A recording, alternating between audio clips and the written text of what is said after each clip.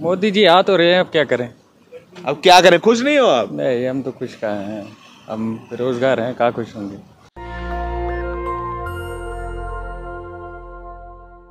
देखिए मैं इस वक्त मौजूद हूँ धर्मशाला में और ये बाइक रैली आपने देखी है। ये बाइक रैली कांग्रेस की है। हालाँकि आज जो रैली बड़ी है धर्मशाला में वो है आ, नरेंद्र मोदी की। नरेंद्र मोदी आज हिमाचल आए हैं और उनकी एक बड़ी रैली होने वाली है। ये देखिए, आपको ये दिखा रहा हूँ कि तमाम जो है देखिए, पुरानी पेंशन की बात हो रही है। प्रचार में लगा जा रही है गाड़ियाँ जा रही हैं। और देखिए, पीछे भी काफ़ी सारी गाड़ियाँ हैं। चलिए, और आगे आपको आगे लेके चलता हूँ। आगे लेके चलते हैं और दिखाते हैं। देखिए तमाम यहाँ पर झंडे वगैरह सब लगे हुए हैं। सर आज तो आज तो मोदी जी आ रहे हैं आपके यहाँ पे। सर इस बारे में मुझे नहीं पता। है कहाँ पे आ रहे हैं? ये धर्मशाला के पास आ रहे हैं। सर हमें तो इतना पता है कि सुधीर जी आ रहे हैं बस सुधीर जी की देख रहे हैं। सुधीर जी की रौनक है। मोदी जी का तो कोई नाम नहीं है फ़िलहाल यहाँ पे। अच्छा सुधीर जी की रौनक है? हाँ जी हाँ जी। सुधीर जी बड़े हो गए मोदी जी से बताइए। बिल्कुल बिल्कुल हमारे लिए तो हमारे जो विधानसभा का एमएलए होगा वही बड़ा है। अच्छा जी। जी जी। सर ये रैली ये तो बाइक रैली है कांग्रेस की। आपके यहाँ पे मोदी जी आए हैं आज? नहीं वो हाँ, मोदी जी आ रहे हैं? कैसा लग रहा है कि मोदी जी आपके यहाँ पे आए हैं? कहाँ आए हुए हैं? हैं? धर्मशाला के पास जगह है वहाँ आए हैं। ठीक है ठीक है हाँ जी क्या क्या माहौल लग रहा है आपको चुनाव में हिमाचल के? ऐसे ही है फिफ्टी फिफ्टी का ही है, अभी कोई फिफ्टी फिफ्टी का ही है। मुझे ऊपर जनता ने काफ़ी बताया कांग्रेस का मामला भी काफ़ी अच्छा है। इतना अच्छा नहीं है लेकिन फिफ्टी फिफ्टी का ही है। फिफ्टी फिफ्टी है। सर भी शायद कांग्रेस का ही बता रहे थे। जाएँगे? हाँ? ना यहाँ तक जाएँगे मलाह तक। नहीं इसकी मुझे जानकारी नहीं है कहाँ कहाँ तक जाएँगे। चलिए और आगे आपको लेके चलते हैं। यहाँ पे तो जानकारी दे रहे हैं कि सुधीर जी आ रहे हैं आज सुधीर जी की रैली है। और ये देखिए नरेंद्र मोदी जी का वैक्सीन वाला जो है वो बैनर लगा हुआ है। तो नरेंद्र मोदी ने अपने भाषण में भी कहा था कि आ, वैक्सीन हमने लगवाई है तो इसीलिए हमें वोट दे दीजिए ऐसा आ, मोदी जी ने कहा था।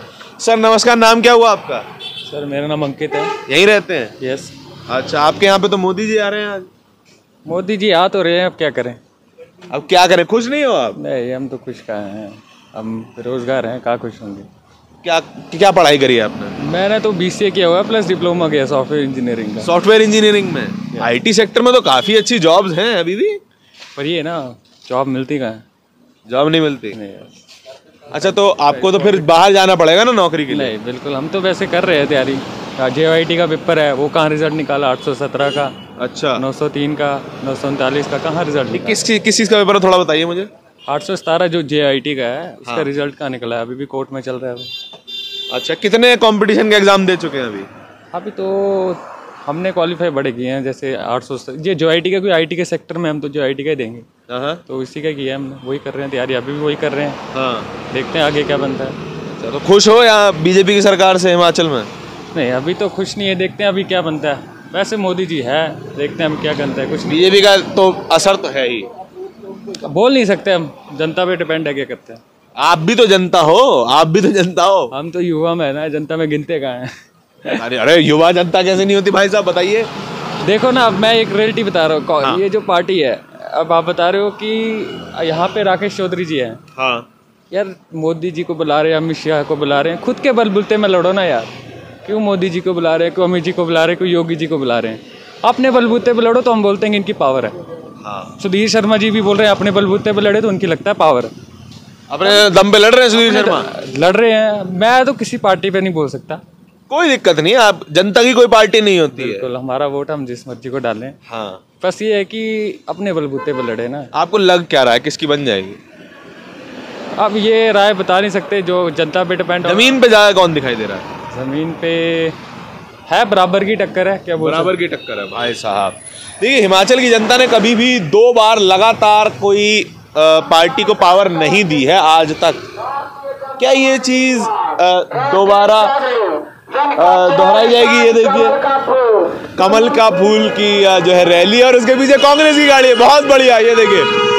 ये तमाम जो है कांग्रेस के कार्यकर्ता हैं और आ मोदी जी ने जलवा कांग्रेस का दिखाई दे रहा है। सुधीर शर्मा यहाँ से प्रत्याशी हैं और यहाँ से बीजेपी के प्रत्याशी के लिए लगातार बड़े बड़े नेता जो है आ, आ रहे हैं समर्थन के नमस्कार अंकल जी क्या नाम हुआ?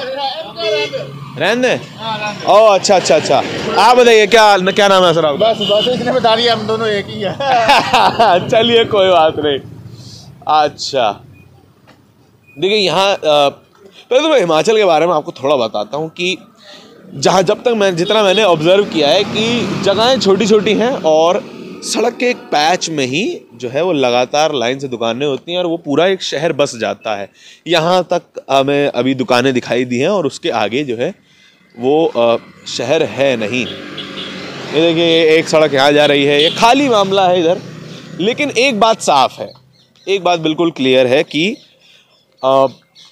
इस कॉन्स्टिट्यूएंसी में, धर्मशाला कॉन्स्टिट्यूएंसी में, सुधीर शर्मा का अच्छा खासा दबदबा है।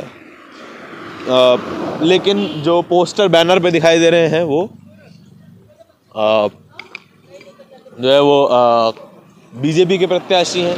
पोस्टर बैनरों पे दिखने वाले लोगों की क्या अ, असल में ज़मीनी ताकत होती है कि नहीं ये भी देखने वाली बात है। खैर शहर ख़त्म हो चुका है पीछे हम शहर जो है छोड़ आए हैं। और अ, अभी के लिए इस वीडियो में इतना ही। अ, कैमरे के पीछे मेरे साथी मनुज के साथ धर्मशाला से धारण की रिपोर्ट। धन्यवाद।